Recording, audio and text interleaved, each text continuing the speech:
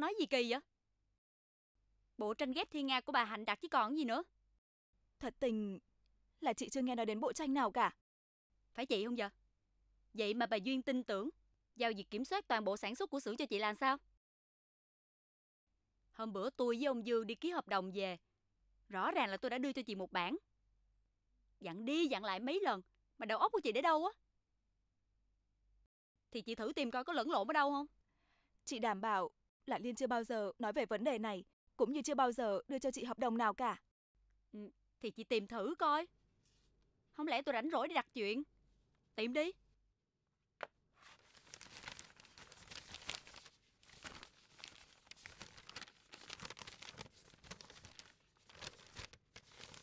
Nè. Trời ơi, rõ ràng ở đây nè. Đó. Không thể nào. Hợp đồng không bao giờ chị để lẫn lộn trong giấy nháp như thế này. Chị đừng có trốn tránh trách nhiệm nha. Rõ ràng là tôi đưa cho chị. Còn chị đáng trí vứt ở đâu là chuyện của chị. Giờ nói coi, còn hơn chục ngày giao hàng đó. Lo được không? Mấy hợp đồng còn đang dở dang. Thợ thì đều bận việc cả. Làm sao hoàn thành bốn bức trong thời gian đấy được? Đó là chuyện của chị. Nếu trễ hợp đồng, chị tự đi mà giải quyết. Tôi không biết à nha. Liên không thể nói như vậy được. Rõ ràng là... Rõ ràng là chị vô trách nhiệm và làm biến. Chị có làm tiếp được không? Không thì nghỉ. Chứ đừng có ở đây mà phá công chuyện làm ăn của nhà tôi.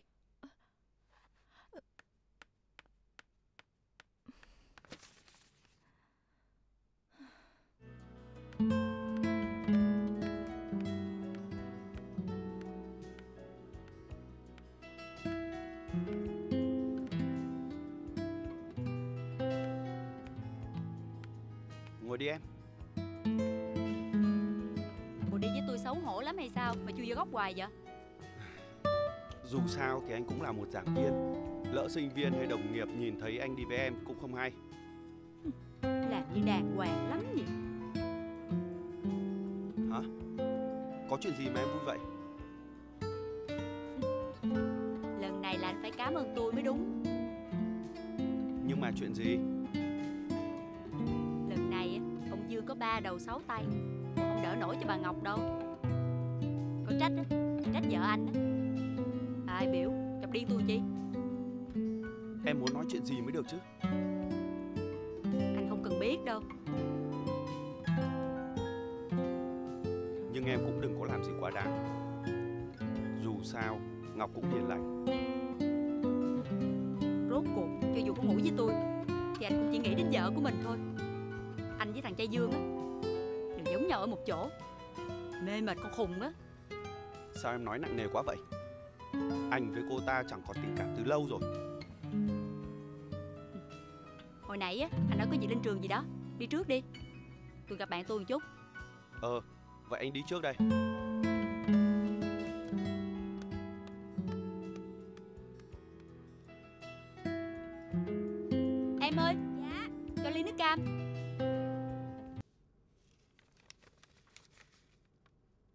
tranh ghép này rất là phức tạp.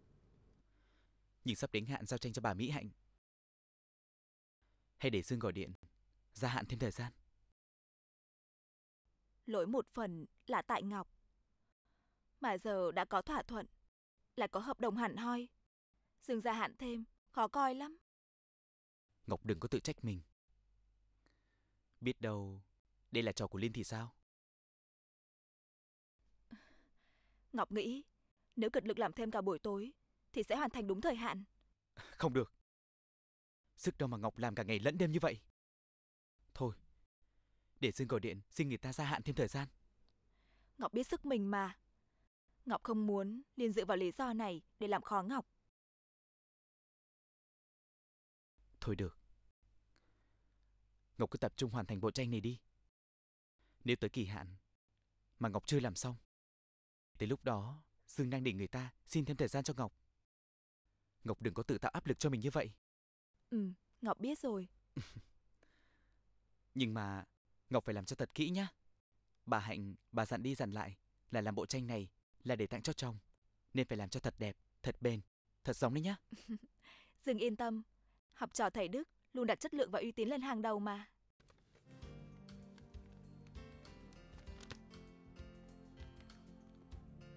Bên anh có vẽ được bốn bức đó Trong thời gian ngắn nhất không?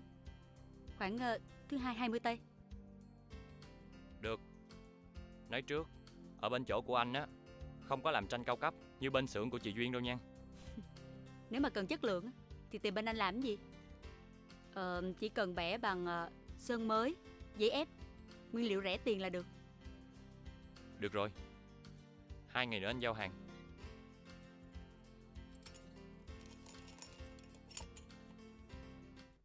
Ăn cơm đi con.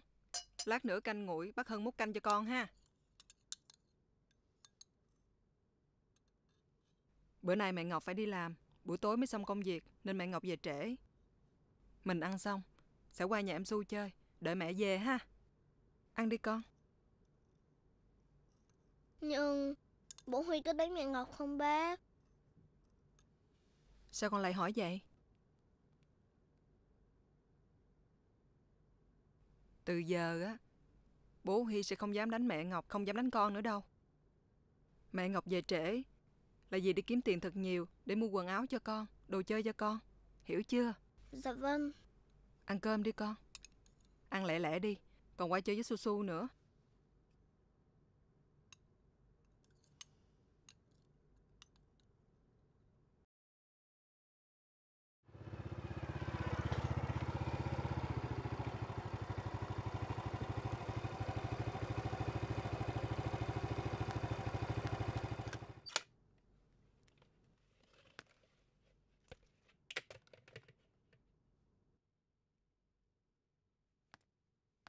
Em biết rồi Bye cưng nha Này, giờ này Ngọc vẫn chưa về à? Bà còn phải làm khuya dài dài Nếu như không muốn mất việc Anh thấy sót vợ Thì đem về mà chăm Anh có chuyện muốn hỏi Ngọc một chút, em chuẩn bị đi, anh ra đi liền.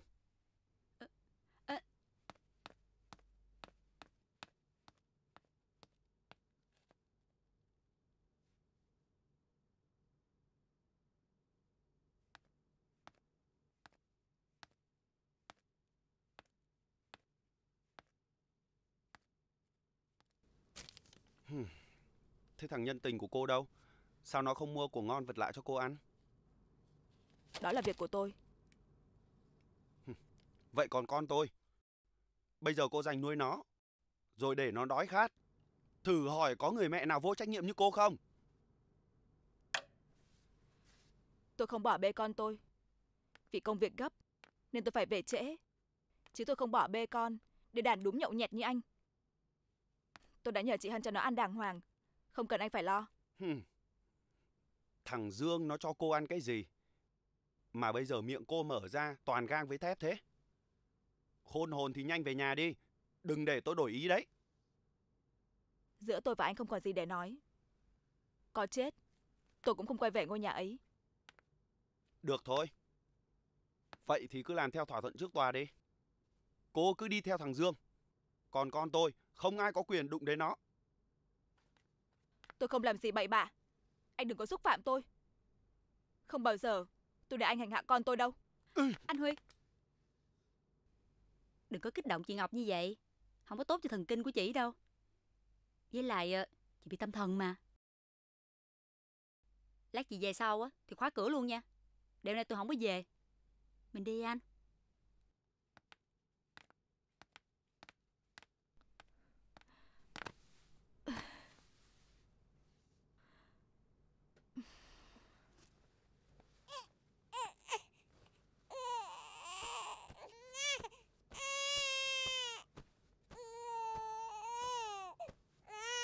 Trời ơi Ô ô con Niệm Con Niệm Con Niệm đi bạc thương. Nha Niệm đi. Ô Ô trời ơi Ô cháu Niệm đi bạc thương nha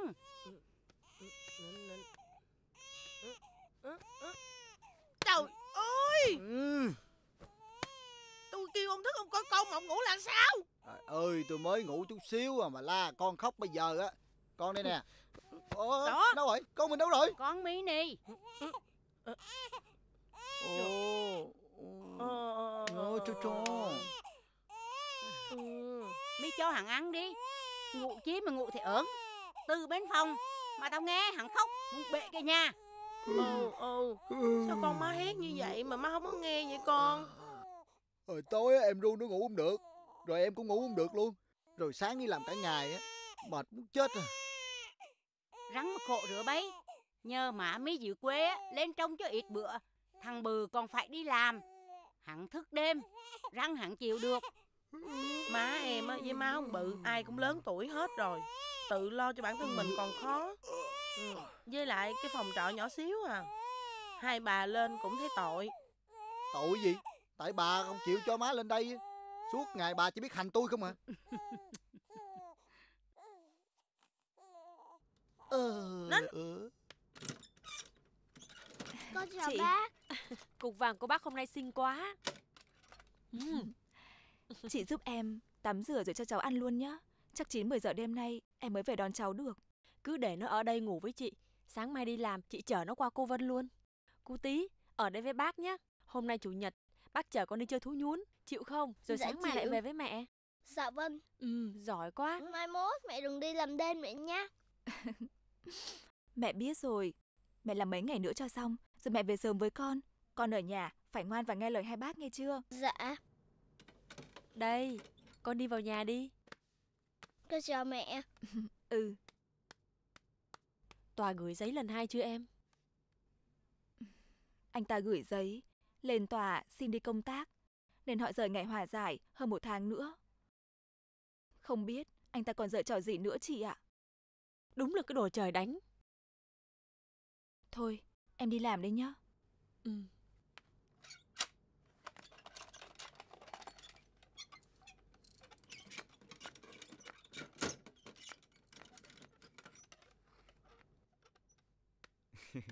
Nghỉ tới ăn tối thôi nào họa sĩ ơi. Rồi ạ, có ai bảo mua thức ăn cho Ngọc? Ngọc có nhờ đâu chứ? Không ai nhờ, nhưng Dương vẫn mua. Mắc công mấy mốt chị Duyên về. Trách Duyên bạc đãi Ngọc. Lúc chiều Ngọc có ăn bánh mì rồi. Hôm nào cũng bánh mì, làm sao mà đủ sức Ngọc. Đây. Ngọc. Ngọc ăn đi cho nóng. Này Các người làm trò gì đấy hả Hả Này, anh ăn nó cho đàn hoàn nhá. Mày tán tỉnh đú đởn với vợ tao Bây giờ bắt tao phải đàng hoàng với mày à Còn cô nữa Cô dừng mỡ đến thế cơ à Anh- Anh im đi. Từ nay trở đi, anh không được nói với tôi bằng cái giọng khốn nạn ấy. Sao Đĩ điếm lại còn rào mồm hả Anh ra khỏi đây ngay. Mày Anh Uy, Anh- Dương, Ừ, ừ. không nên đánh nhau ở đây Dương à? Tao nói cho mày biết Trước khi có quyết định chính thức của tòa án Tao vẫn là chồng của Ngọc Chúng mày còn gian díu với nhau nữa Thì đừng có trách tao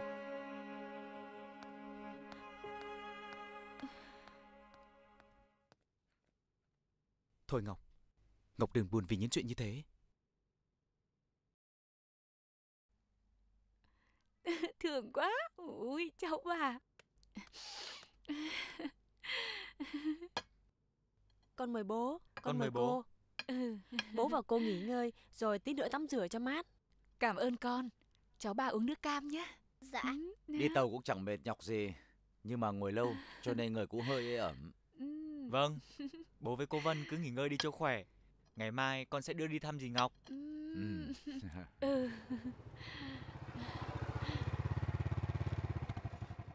à, Dạ chào bố mẹ Chào anh chị Ờ chào con Sao bố mẹ không gọi điện cho con ra đón Cho đỡ vất vả Bố đi cùng người quen cho nên về tận nơi Dạ Kìa rót nước cho Huy uống đi con Vâng ạ. Ờ, Dạ chiều nay Con mời bố mẹ với anh chị Qua nhà con dùng cơm à. Cứ thư thư đã Tối không bận gì Thì sang đây ăn cơm với cả nhà luôn cho vui Dạ vâng ạ Sao tí Chơi với ông bà ngoại ngoan không Không sợ, không sợ. Có bà đây rồi cháu không sợ.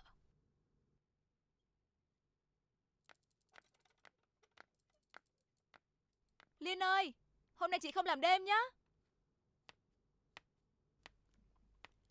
Việc đang gấp sao chị không lo làm Lại tính hẹn hò nữa hả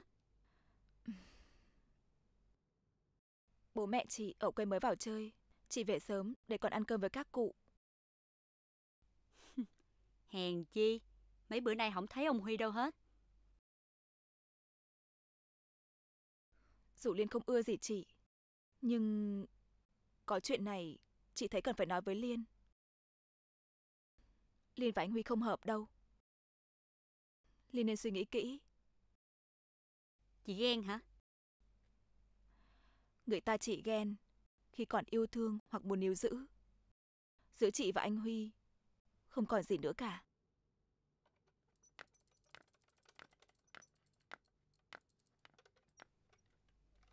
Sắp tiêu đời đến nơi rồi đó. Cứ ở đó mà bình thản đi. Ghê thiệt đó nha. Thằng Quy á, nó nói làm sao mà ba má con Ngọc lặn lội từ ngoài Bắc vô đây. Ép buộc con Ngọc phải quay về với thằng Quy cho bằng được. Đúng là thằng cha mắc dịch mà. Chuyện vậy mà ông cũng làm được nữa. Kiệu chi thì ông bà cũng qua đây chơi. Lúc nợ mình tập trung nói cho ông bà biết. Con Ngọc hẳn phải chịu khổ sở như răng. Chị, chị, chị, chị, chị. Trời ơi. Cẩn gì? Bây giờ chỉ cần mình qua nhà ông bà. Trước á là để mình thăm. Sau á là để mình nói với ông bà cái bộ mặt thiệt của con cha Huy luôn. Bà lúc nào cũng ồn ào hết. Hả? Bà mới sinh á, đi vô nhà giùm tôi đi, để tôi trúng gió bây giờ nè. Nghe tới tên cha Huy là tôi muốn lên máu sản hậu à. Biết rồi, bà có ngon á ha. Đợi mốt con lớn đi, bà đập ổng một trận giùm tôi, chứ tôi cũng giận ổng lắm rồi đó. Cái tướng như cha Huy ha. Tôi chỉ cần đá một cái thôi là nằm liệt tới cuối đời luôn á. Thiệt tình. Con nhỏ này, có con mà nó thấy ghê hả? Bố thấy Sài Gòn thế nào ạ? Hôm nay thức ăn nhìn ngon thế.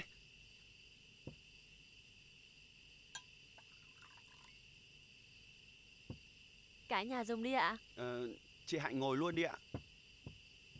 Ừm, Thức ăn trong này có hợp khẩu vị của mẹ không hả mẹ? Vâng, cảm ơn anh. Con ăn đi. Thôi, nâng ly chúc mừng gia đình ta tề tựu đông đủ. Ờ, hôm nay gia đình ta sum họp. Con mời cô Vân, em Ngọc và Hạnh uống cùng một ly cho vui. Dạ phải đấy ạ. Lần đầu tiên gia đình mình sum họp mà. Thôi, bố con các anh cứ tự nhiên. Mẹ con bà cháu tôi uống làm sao được. Thôi nào, Con mời mẹ đàn ông à? chúng mình cùng ly. Dạ, con mời con bố mời bố. Ờ.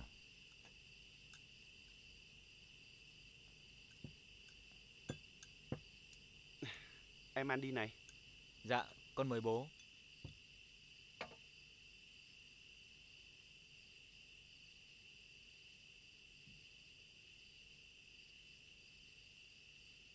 Từ hồi chúng con cưới nhau tới giờ, đây là lần đầu tiên gia đình mình đoàn tụ, con vui lắm. Chỉ tiếc là vợ chồng con lại bất hòa, khiến cho bố mẹ và anh chị phải phiền lòng.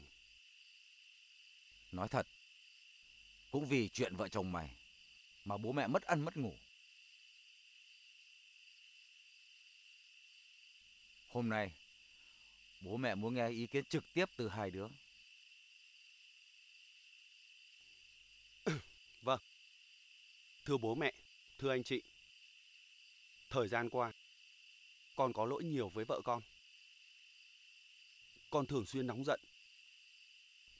Bây giờ con vô cùng hối hận. Chỉ mong chuộc lại lỗi lầm với mẹ con cô ấy. Mẹ con nó đã khổ với chú nhiều lắm rồi. Làm ơn đừng có diễn kịch nữa. Cứ để cho Huy nó nói. Con sai vì con nóng giận. Nhưng không phải là vợ con không có lỗi. Chuyện Ngọc qua lại với cậu Dương, ai ai người ta cũng biết. Trước mặt bố mẹ và anh chị tôi, tôi cấm anh vu không trắng trợn. Tôi và Dương chưa từng làm gì có lỗi cả. Phải, chú Huy đừng có hiểu lầm.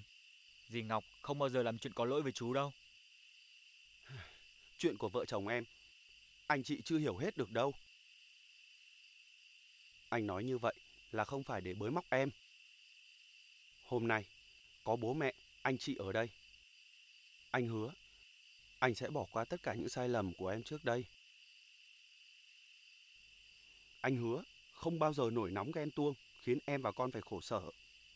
Vì con, xin em hãy cho anh một cơ hội. Thằng tí không thể lớn lên, thiếu bố hoặc mẹ mà. Chú thử hỏi thằng tí xem nó có muốn quay về với chú không? Loại người như chú ấy thì không xứng đáng làm chồng, làm cha. Tao đã bảo cứ để cho nó nói cơ mà. Bố cũng đừng có trách anh chị. Đúng là trong thời gian qua, con đã làm nhiều điều không phải, Giờ con chỉ biết cầu xin sự tha thứ của mọi người thôi. Ngọc, bây giờ em không thể có con. Còn anh cũng lớn tuổi rồi. Chia tay bây giờ cũng không tốt cho cả hai. Không tốt cho con em ạ. Mới hôm qua, anh còn mạn sát tôi. Anh còn hẹn hò yêu đương trước mặt tôi. Vậy mà bây giờ, anh làm như chưa có chuyện gì xảy ra. Loại người như anh, có đáng làm bố không? Em nói cái gì vậy Ngọc? Anh yêu thương mẹ con em còn không hết. Làm sao có chuyện ra ngoài bậy bạ được? Em cũng không nên dựng chuyện để bố nhọ anh như vậy chứ. Đồ tồi. Anh dám làm mà không dám nhận à? Ừ. Chúng mày định chửi nhau trước mặt bố mẹ đấy hả? Bố, những lời anh ta nói đều là những lời dối trá. Bố không nên nghe làm gì ạ? Tao tự biết cân nhắc. Thằng Huy đã nói đến thế. Cớ gì mà lại trở nên nanh nọc như vậy hả Ngọc? Mẹ nghe chị Hạnh nói cả rồi. Thật, mẹ không nghĩ nó lại tồi tệ đến như thế. Cứ tưởng nó chỉ ghen tuông, quấy quả qua loa rồi thôi. Vì có lỗi với bố mẹ, nên con chẳng dám hé răng lấy một lời nào. Con không ngờ, anh ta dám gọi bố mẹ vào đây. Để gây sức ép buộc con phải phục tùng. À, thôi, kệ nó con ạ. À. Giờ mẹ không can thiệp vào chuyện này. Con muốn làm thế nào cho tốt cho con thì con cứ làm. Con xin lỗi vì đã làm mẹ phải khổ. Làm thân đàn bà khổ thế đấy con ạ. À. Bao năm nay mẹ chẳng lo được gì cho con cho cháu. Mẹ xin lỗi con.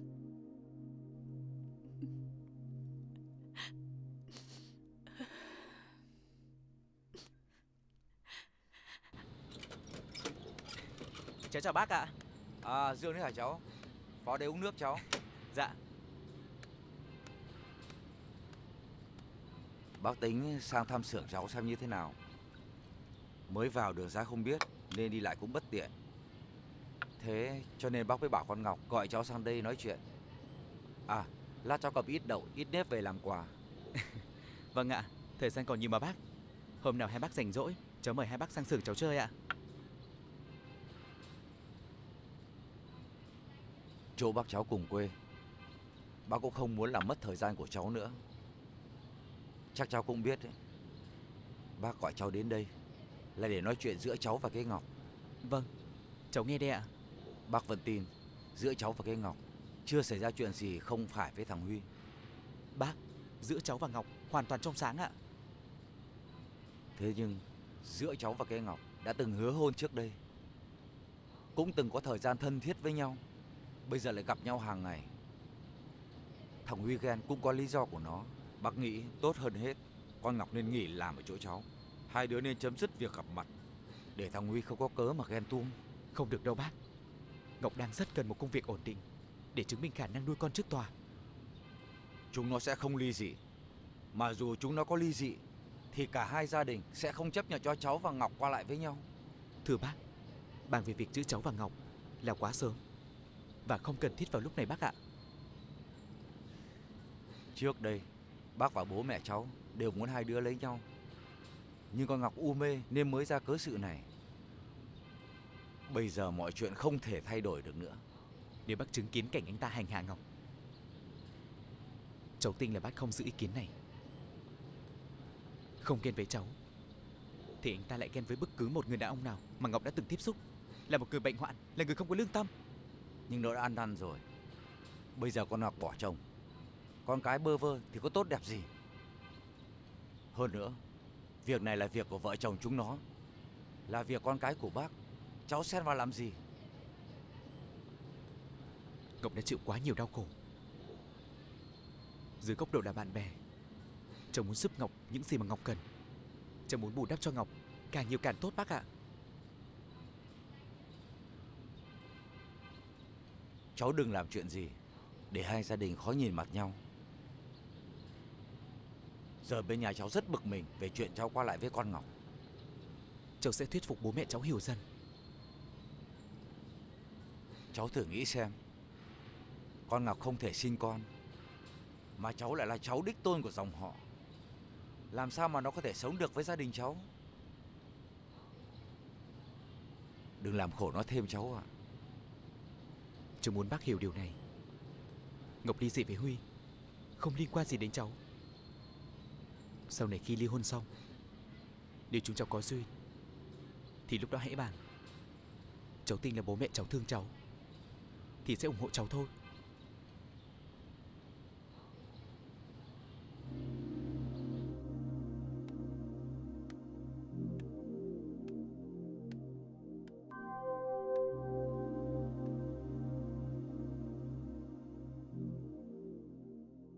Con Ngọc không thể sinh con mà cháu lại là cháu đích tôn của dòng họ Làm sao mà nó có thể sống được với gia đình cháu Đừng làm khổ nó thêm cháu ạ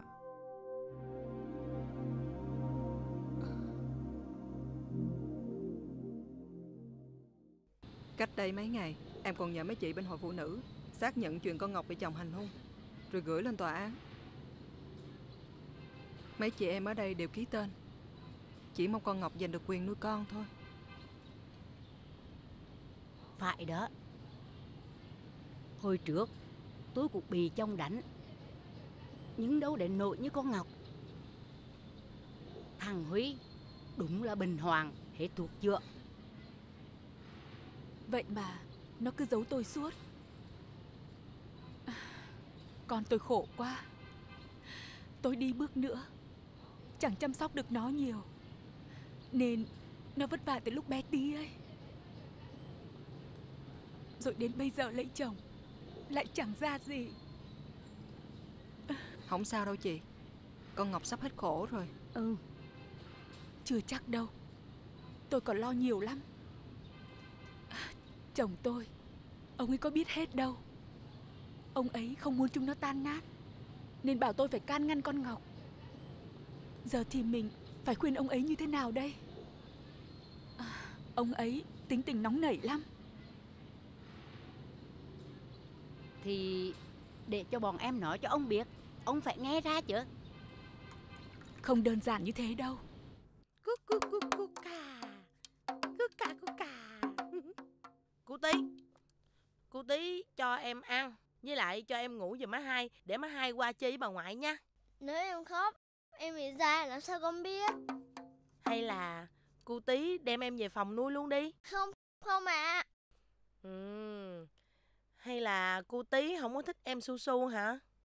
Con thích, nhưng con sợ mẹ Ngọc không vui. Lần nào bế em su su xong, về nhà mẹ cũng khóc. Ừ Vì mẹ Ngọc nhớ em bé đó.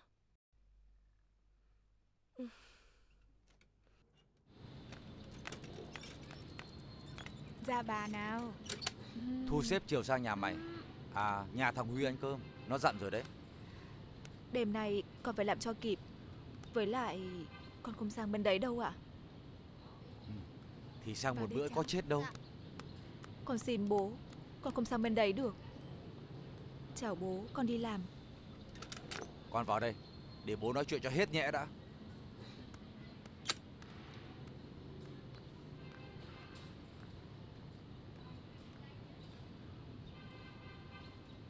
Bố cũng nghe mọi người nói cả rồi cái cốt lõi Là thằng Huy ghen tuông với thằng Dương. Nếu mày không ở gần thằng Dương ấy, Thì vợ chồng không đến nỗi. Bố biết mày chịu khổ nhiều rồi. Nhưng lần này, Bố mẹ mất công lặn lội vào đây. Mày hãy tha thứ cho nó một lần đi con. Nếu sau này nó còn như vậy, Bố hứa bố sẽ không can thiệp. Bố ơi, Con biết là con có lỗi với bố mẹ. Nhưng chuyện này. Con không thể bố hả? Lúc tao bảo mày không được lấy nó Mày bảo không thể.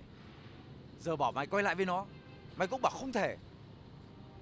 Rốt cuộc Mày muốn tao tức chết phải không? Thưa bố Con đã cho anh Huy không biết bao nhiêu cơ hội Nhưng anh ấy vẫn không sửa đổi được à? Làm thân đàn bà Thì phải biết nhường nhịn chồng. Mày làm nó mất sĩ diện Thì nó đánh mày chẳng sai con cũng đã suy nghĩ như bố. Con cũng chấp nhận đau khổ để hàn gắn. Nhưng giờ con không chấp nhận được nữa. Con đã đánh mất lòng tự trọng của mình quá lâu rồi. Điều đó chỉ làm tồi tệ hơn thôi. Nếu như ngày xưa mày lấy thằng Dương Thì có ai phải nhục, phải khổ Nhưng giờ mọi chuyện đã khác Mày là gái đã có chồng Lại không thể sinh đẻ Làm sao gia đình, họ hàng nhà thằng Dương Chấp nhận một đứa như mày hả con Lúc ấy thì cũng chỉ khổ mày Khổ nó Mà còn nhục mặt tao với mẹ mày Sao mày không nghĩ cho mọi chuyện thấu đáo hả con Còn với Dương chỉ là bạn. Con biết mình phải làm gì. Bố đừng có lo. Thôi, con xin phép bố con đi.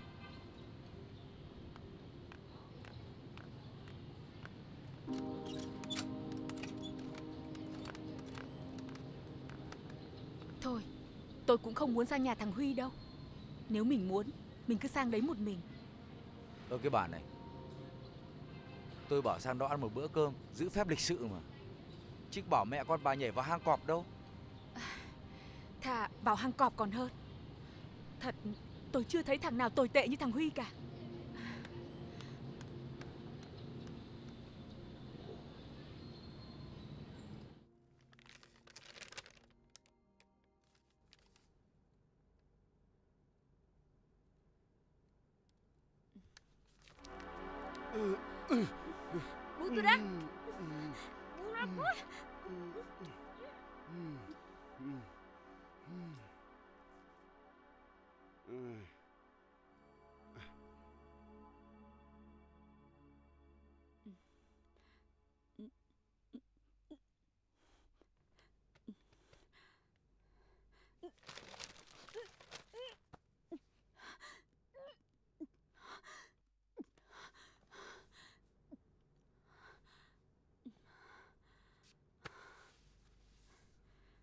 Hôm qua uống có mấy ve mà sao mệt dữ vậy trời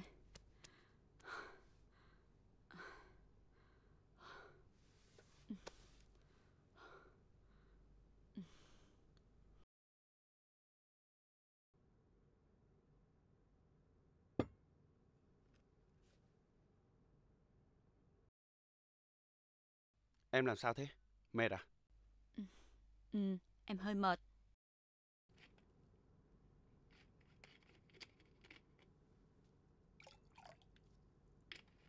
Này, bố mẹ Ngọc mới vào. Trong thời gian này, mình nên hạn chế gặp nhau. Ủa Từ lúc nào tôi trở thành bồ nhí lén lút của anh vậy Anh biết là anh với em cặp kè với nhau nhằm chọc tức vợ anh với thằng Dương. Nhưng mà cũng nên cẩn thận. Vì thời gian này anh phải giải quyết chuyện gia đình đã. Vậy quá ra chuyện anh lôi tôi lên giường Là để chọc tức vợ anh chứ gì Đấy là chuyện khác. Sao em cứ hay bắt bẻ thế nhở?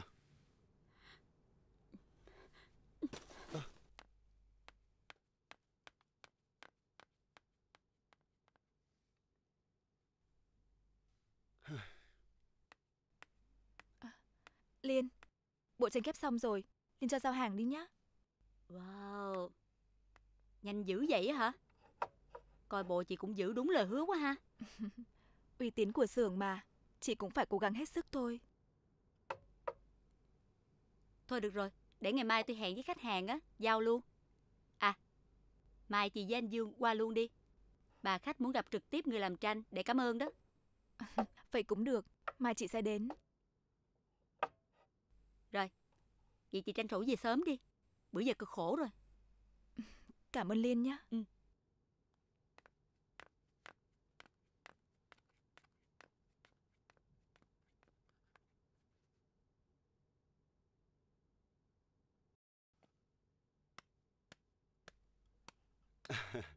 Bố thông cảm.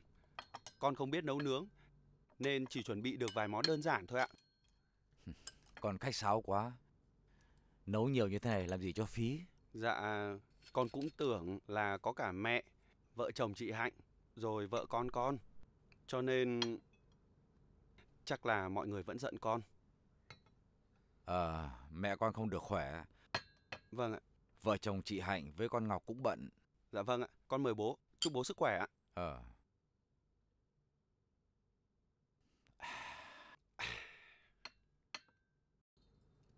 Dạ, mời bố ạ.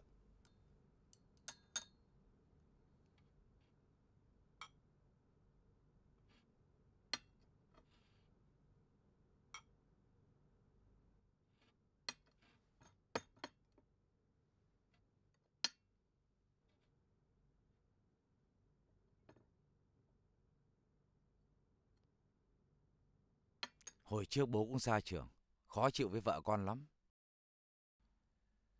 Giờ lớn tuổi rồi. Bố nghiệm ra điều này. Điều ấy chỉ làm cho vợ con xa lánh, mệt mỏi với mình. Chứ không phải là sự kính trọng, nể nang con ạ. Vâng ạ. Sau những biến cố vừa rồi, thì con cũng nhìn nhận ra nhiều điều. Con luôn bị ám ảnh vì Ngọc trẻ đẹp. Có nhiều người đàn ông theo đuổi, nên con đã làm tổn thương cô ấy. Hồi trước ấy, bố không muốn hai đứa lấy nhau. Nhưng con và con Ngọc buộc bố mẹ vào chuyện đã rồi. Đến giờ, mọi khó khăn đã qua đi, thì hai đứa lại như thế này. Thật, bố xấu hổ với họ hàng làng xóm lắm. Chuyện này rồi sẽ được giải quyết nhanh thôi bố ạ.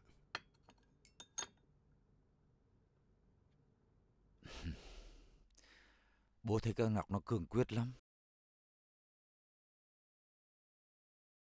Huy này, nếu không có cách nào để chung sống với nhau nữa, thì con nên đồng ý ly dị với con Ngọc. Tìm người tâm đầu ý hợp khác mà xây dựng lại. Sao bỗng nhiên bố lại quay lại chống đối con? Con yêu vợ con con. Bố cũng biết, bây giờ con nhiều tuổi rồi. Ngọc, thì sau lần xảy thai vừa rồi, đã mất khả năng sinh con. Bây giờ mà bỏ nhau, thì cả hai người đều thiệt thòi. Thiệt thòi nhất là cu tí bố ạ. Đáng lẽ ra, anh phải biết điều đó sớm hơn. Anh đã đối xử với nó như thế, đã mất hết tình rồi.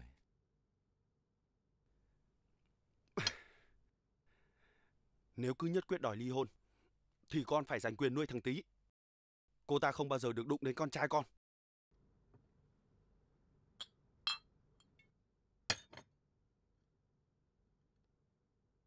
Nói thiệt với hai em nha, ông xã chị, ổng mê tranh sân mài dữ lắm.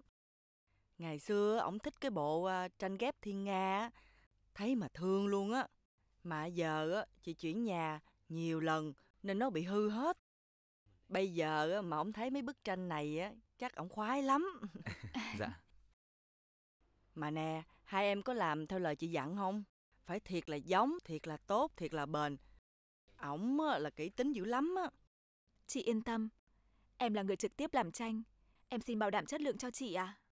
Ờ, để chị coi sao. Nói vậy chứ chị cũng am hiểu sơn mài dữ lắm. Nhờ ổng chỉ chị đó. Dạ. Cái này mà là tranh sơn mài đó hả? Có chuyện gì vậy ạ? Đây là tranh sơn mài mà cô bảo đảm chất lượng với tôi đó hả? Ừ, dạ. Đây không phải ạ. Cô nói với tôi á, là vẽ trên gỗ quý Mà cô xem đi Chẳng phải là dán ép đây hả Cái này mà sơn ta hả Cô nhìn đi Tất cả nguyên liệu đều được làm bằng những đồ rẻ tiền Vẽ thì vô hồn Có chuyện gì thế Ngọc? Sao tranh lại ra như thế này? Đây không phải là tranh Ngọc vẽ. Không bao giờ Ngọc làm như thế này cả. Tôi đến tận đây nhận tranh Chẳng lẽ tôi nói sai cho cô hả Làm ăn gì dối trá Thưa chị, chắc chắn có sự hiểu lầm ở đây. Bên xưởng của em không bao giờ làm tranh như thế này. Mong chị cho em thêm thời gian. Bên em nhất định sẽ giao tranh đạt theo yêu cầu của chị. Dẹp hết đi Tôi không đặt tranh mấy người đó đâu Em đã hoàn thành hết rồi. Chắc chắn là có sự nhầm lẫn gì đấy. Dạ. Em xin chị, cho em kiểm tra lại ạ. Không cần kiểm tra Đừng bao giờ nghĩ đến chuyện lừa gạt tiền của khách hàng Làm ăn như vậy tồn tại không được lâu đâu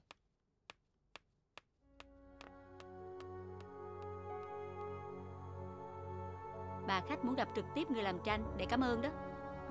Vậy cũng được Mai chị sẽ đến. Vậy chị tranh thủ về sớm đi Bữa giờ cực khổ rồi.